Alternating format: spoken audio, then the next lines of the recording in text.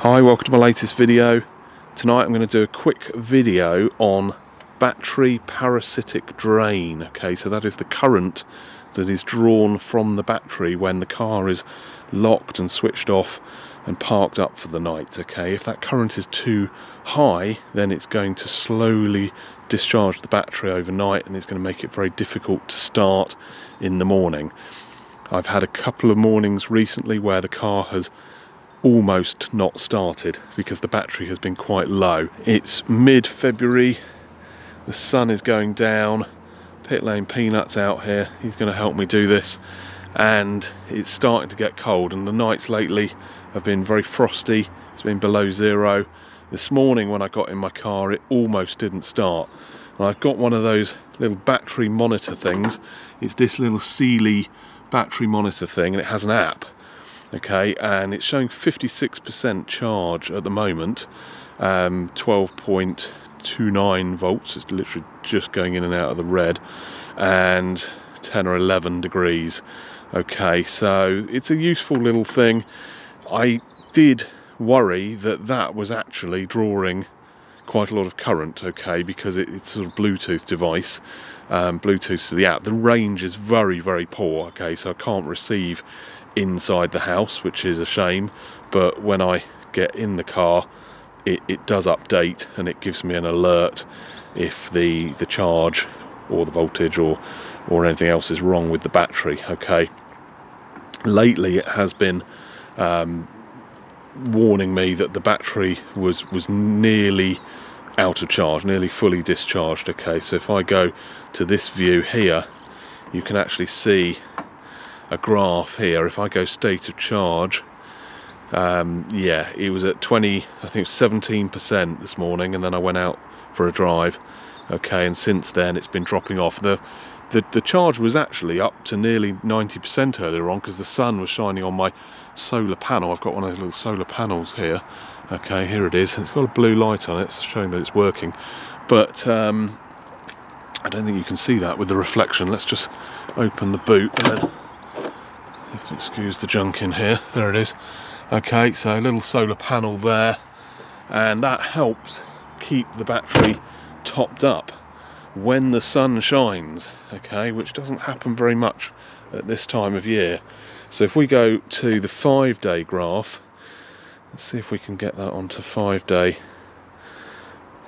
there you can see the charges all over the place okay? I'll put up a proper screenshot of this actually on on the screen but the charge is going up and down. Uh, there is a little gap there okay? So I did disconnect it briefly because I was worried that it was actually drawing too much current.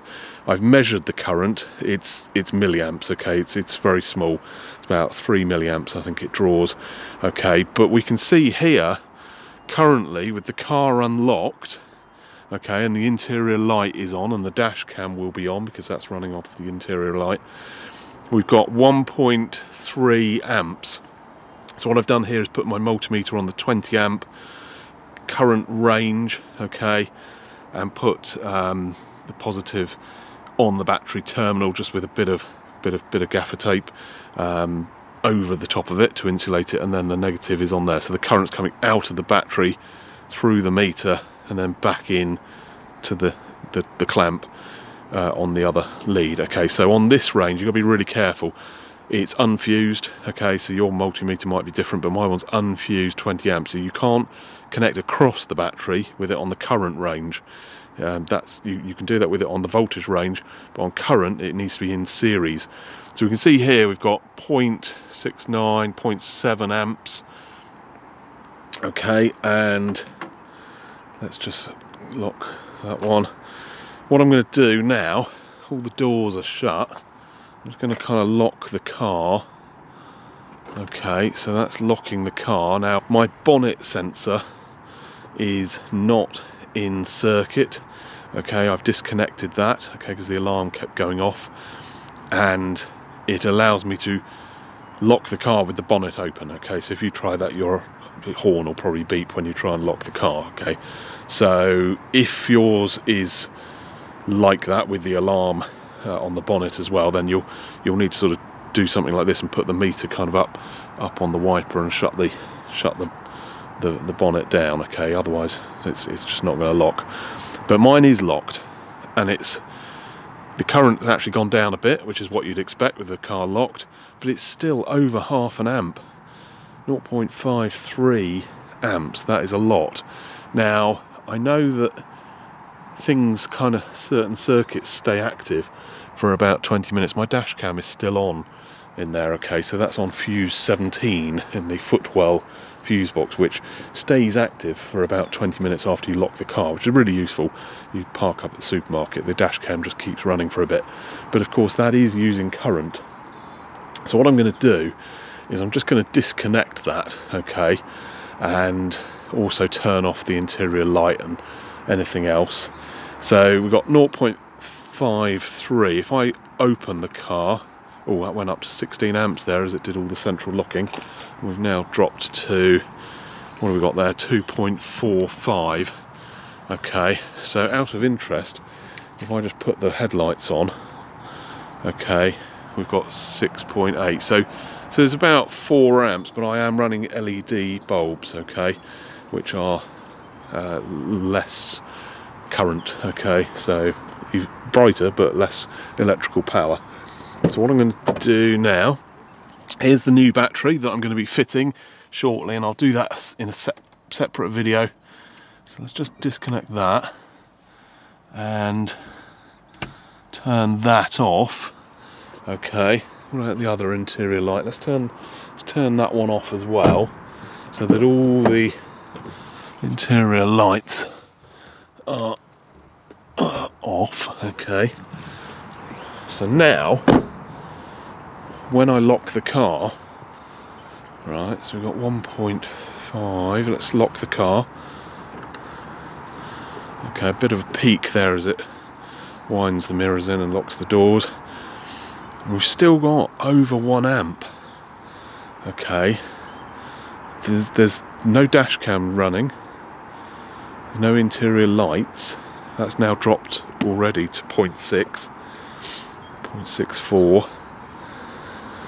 0.47 it is coming down and what I would expect because certain things are still active as the car does shut down all its various circuits and I might have to wait a bit okay I might have to wait about 15 to 20 minutes that really should drop down to hopefully zero but it probably won't be totally zero it will probably be a couple of milliamps or something.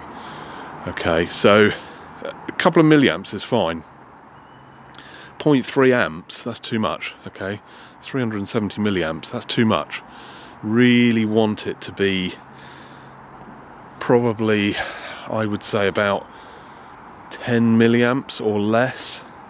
Even 50 milliamps is, you know, that's that's quite a lot for a car parked up doing nothing all night.